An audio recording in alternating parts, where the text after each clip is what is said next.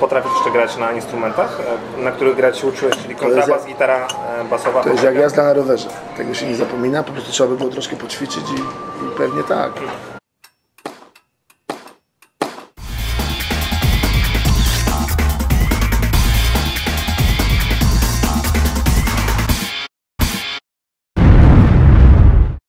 Mateusz Borek był szykowany przez, tatę na aktora właśnie. Mateusza zapał został ostudzony przez ojca e, takimi słowami. Słuchaj Mateusz, ty nie możesz zostać aktorem, bo aktorem byłbyś dobrym, tylko dobrym. Ty byś jakim był muzykiem? Przeciętny. Muzykiem byłbym przeciętny. To znaczy ja bardzo lubię muzykę. Dzięki liceum muzycznemu i całemu, w ogóle całej edukacji mojej muzycznej jestem w stanie słuchać muzyki świadomie.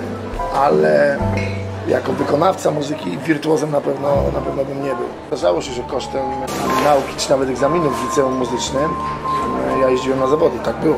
Ja dopiero zacząłem być tak naprawdę przygotowany do pierwszej walki zawodowej, jak Jerzy Ukuleja poznałem. Kazał mi, co to znaczy przygotowywać się do zawodowego debiutu.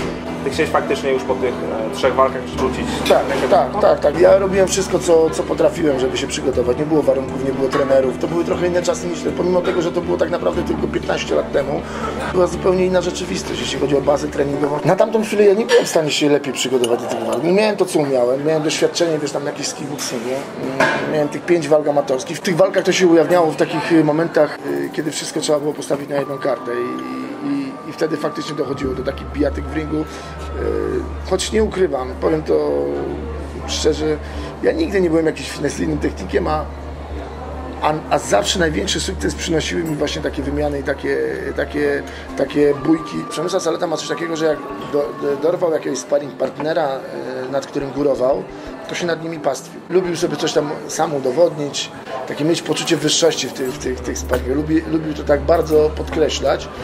Witali Kliczko zapamiętał to bardzo dobrze i później po kilku latach, gdy się spotkali na sparingu, Przemysław Saleta po pierwszej rundzie zdjął rękawicę i powiedział, że dalej nie będzie sparował. Tamtej pory Saleta z nimi sparował.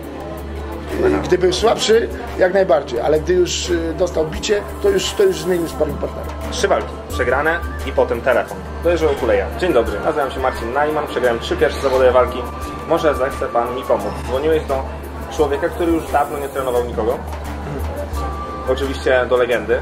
E, Nie miałeś pojęcia jak zareaguje. Pewnie to też był jakiś stres dla Ciebie.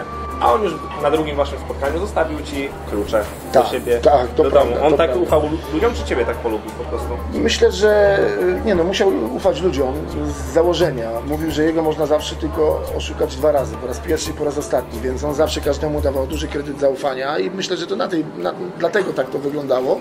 Natomiast myślę też, że zauważył mi wielką pasję, taką samą jak on posiadał. Mam świadomość też tego, co potrafię.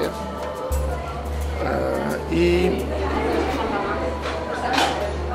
i mistrzem świata nie będę, ale kto wie, czy nie uda mi się zostać mistrzem Europy w Kajnie. Chociażby. To jest mój pułap. To już wyżej nie dam rady. To jest mój pułap. walka życia. Przyjmijmy tego Ci życzę, oczywiście wygrywasz ją. Dzwoni Jakub Wojewódzki, Kuba Wojewódzki. Przychodzisz do niego? Nie, nie, nie, nie, nie. Jest dla mnie również jest dla mnie zerem skończonym. Widziałem kilka jego wywiadów. Nie zasługuje na to, żeby jakąkolwiek dyskusję z tym podejmować. Uczestnictwo w programie w jego towarzystwie jest raczej, powiedziałbym, uwłaczające niż, niż, niż nobilitujące. Ja nie zabiegam o sympatię ludzi, ja robię swoje.